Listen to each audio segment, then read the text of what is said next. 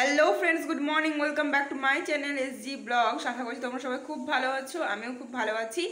একজনে আমাকে কমেন্ট করেছিলে চুলের ব্যাপারে। তো আমি সেই টিপসটাই শেয়ার করব। তো ভিডিওটা কন্টিনিউ করো। বন্ধুরা, আমি চলে এসেছি ছাদে। সকাল থেকে যে ভিডিওটা করব বলছিলাম মানে যে ছোট্ট টিপস একটা দেব বলছিলাম, বিশেষ কিছু আমিও জানি না যে টিপস দেব। তো যাই হোক, একজন আমাকে দু তিনবার এরকম সামথিং কমেন্ট করেছিলে চুলের সম্বন্ধে। তো দেখো, তুমি বলছো চুলের যত্ন। আমি যদি চুলের যত্নই করতে জান তাহলে এরকম ঘোরার মতন কি চুলের, চুল হতো? সরি তো যাই হোক, আমি যতটুকু করি, আমি অনেক কিছু ইউজ করি। তো অতটা তো বলা সম্ভব নয়, বা ওই সমস্ত কিছু একদিনে ইউজ করলে আমার নিজের চুলটাই ড্যামেজ হয়ে যাবে। তো আমি তোমাদেরকে স্টেপ বাই স্টেপ বলছি, তোমরা বুঝতে থাকবে। ও কত জানি ওরে বাস। তো দেখো, আমি সমস্ত কিছু রেডি করে নিয়ে এসেছি। যাই হোক, বলে দিচ্ছি আমি। তো দেখো, আমি দুটো কাগজি নিয়েছি এখানে মানে লেমন নিয়েছি আর কি। বাবা তো দেখো, এই যে দুটো কাগজি আমি কেটে নিয়েছি ভালো করে, আর এরকম একটা বাটি নিয়ে নিয়েছি। তো এটার মধ্যে আমি এই কাগজি রসগুলোকে বের করে নেব ফার্স্টে আজকে আমি কাগজি রসটা যেভাবে ইউজ করব নিজের স্ক্যাল্পে সেটা তো খুব সিম্পল পদ্ধতিতে আমি তোমাদেরকে দেখিয়ে দেবো যাদের কাছে খুব কম টাইম তো দেখো, আমি কাগজি রসটা বের করে নিয়েছি। তো এবার কি করব, বলি আমি। সব হাতের কাছে রেডি করে রেখেছি। যাই হোক, তো এটাতে সামান্য পরিমাণ মানে জাস্ট স্লাইড তো জলটা মিশিয়ে নেওয়ার পর আমার শ্যাম্পু বলতে সানসিল্ক লরিয়াল প্যারিস এগুলোই আমার স্যুট হয় head and shoulder Dove shampoo এই সমস্ত শ্যুট হয় না। তো আমি দেখো সানসিল্ক শ্যাম্পু নিয়েছি দু পাতা তো এবার আমি এটাতে এটা দিয়ে দেব। তোমাদের যেটা ইচ্ছে মানে তোমাদের যে শ্যাম্পু ভালো লাগে সেটাই।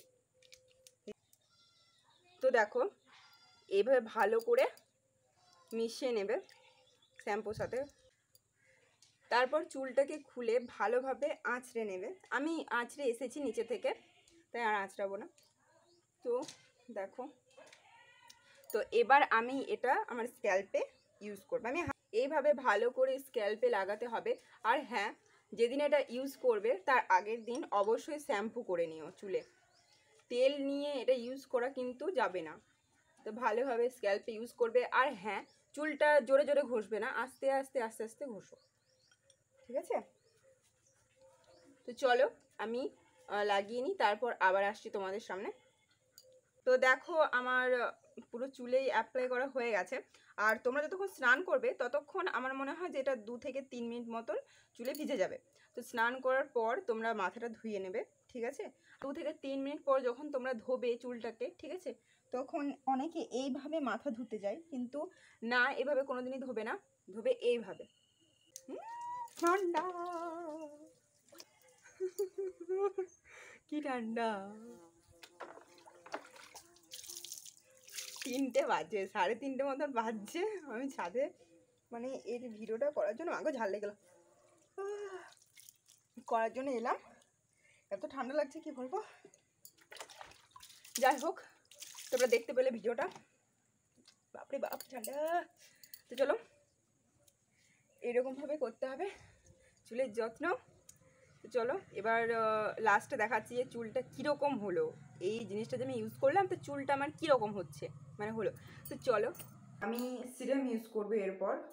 তো তোমরা যে, যা সিরাম ইউজ করো বা করো না, তাতেও ঠিক আছে। তো যাই হোক, আমি সিরাম ইউজ করি, ওই জন্য আমি করে নেব। আমি লিভন সিরামটাই অ্যাপ্লাই করি লিভনের চাইলে তোমরা ইউজ করতে পারো। অনেকে করে, আমি জানি। যারা করে না, তাদের জন্য বললাম। আমাদের মেনলি দেখো, আমি একটা কথা বলি। শীতকালে আমাদের চুল উঠে একটা কারণের জন্য মেনলি খুশকি, ঠিক আছে? আর যাদের অয়েলি স্ক্যাল্প আমার অয়েলি স্ক্যাল্প তো সেটার জন্য চুল ওঠে, কিন্তু শীতকালে মেনলি ওঠে খুশকির জন্য, আর ড্যামেজ হেয়ার হয়ে যায় খুশকির জন্যই। আর খুশকি যেহেতু একটা ফাঙ্গাল ইনফেকশন সেহেতু মুখেও দাঁত বেরোতে পারে। আমার এই প্রবলেমটা ছিল, তো আমার চলে গেছে আর কি। তো এটার জন্য মেনলি হয়। ওই জন্য আজকে আমি যে লেবুর রসটা ইউজ করা দেখালাম মেনলি সেই জন্যই দেখালাম। সপ্তাহে দুদিন এইভাবে ইউজ করতে পারো নিজেদের স্ক্যাল্পে তাহলে খুবই মানে কি বলব, খুব ভালো ফল পাবে আর কি।